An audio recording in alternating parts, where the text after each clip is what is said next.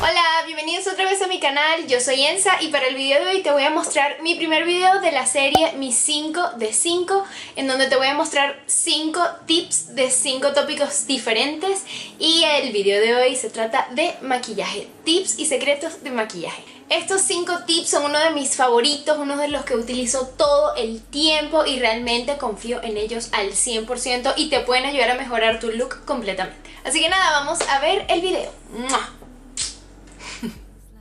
El primer tipo secreto que tengo para mostrarles es no sellar con polvo la base bajo los ojos sin antes aplicar corrector.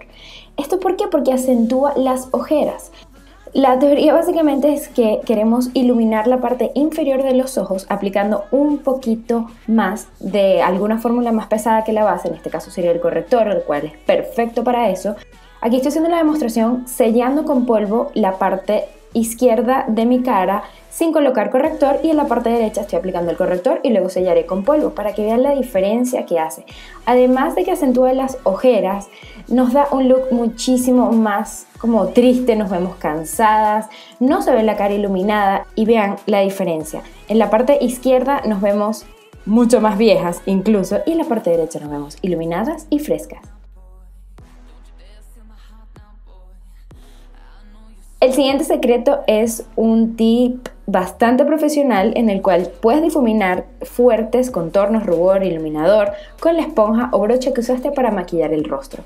Nos pasa que nos equivocamos constantemente cuando nos colocamos de más de rubor o contorno, yo soy completamente culpable de eso, pero lo podemos eliminar y difuminar bastante con la misma brocha o esponja que usamos para colocar la base porque tiene exceso de producto allí y lo que hace ese exceso de producto es difuminar y volverlo todo más suave y bonito y sutil.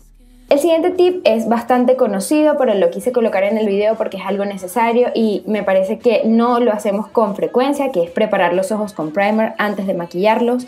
Esto hace que las sombras se vean mucho más pigmentadas, que puedan difuminar muchísimo mejor, le da un look más profesional y en general el difuminado en un ojo ahumado es clave. Lo que yo hago es colocar un poquito de corrector en todo el ojo, luego lo sello con polvo o si quiero que realmente las sombras se vean a mil con la pigmentación, no lo sello y trato de difuminar más que nunca y voy colocando capa por capa y miren lo bonito que se ve. Básicamente ni siquiera tuve que colocarle agua de rosas o Fix Plus a las sombras metálicas y se ven muy bonitas y fuertes y realmente es uno de mis tips favoritos porque hace muchísimo la diferencia.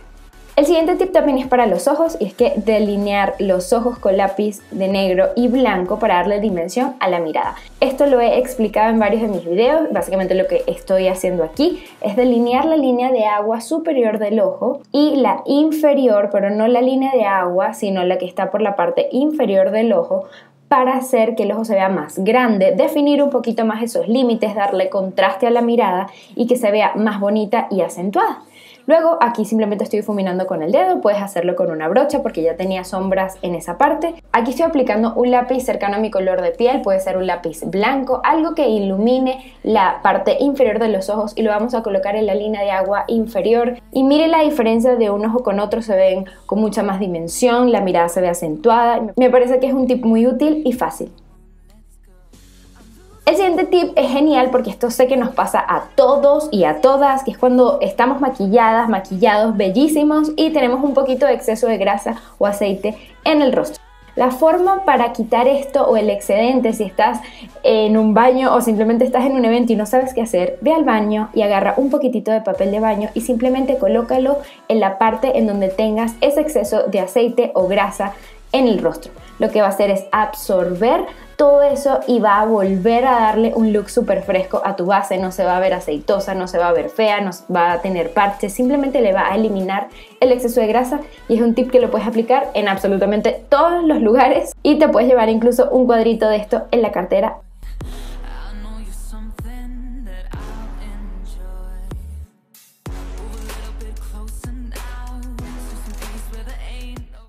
Y esto ha sido todo por este video, espero que les haya gustado, dime cuál fue tu favorito y también quisiera saber si les gusta que haga este tipo de videos en donde les cuento sobre tips y secretos y demás. Y también por favor sugiéreme qué categoría te gustaría que agregara en los videos, si quisieras ver otra cosa. He estado pensando de cuidado de la piel, cuidado del cabello y ese tipo de tópicos, pero dime otro que te parezca interesante que quisieras saber más.